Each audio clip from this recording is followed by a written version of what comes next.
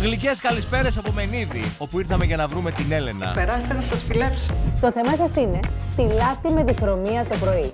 Τρελαίνομαι. Μπράβο. Είμαι η καλύτερη και έκανα την τύχη μου. Είμαι για εξώφυλλο. Δεν μπορώ να πω όχι. Τι έπαθες; Νομίζω εγώ είμαι για εξώφυλλο. Που κυρία; Είναι καταπληκτικό.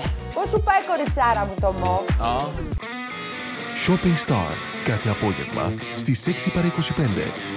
Δημιουργία έτοιμη.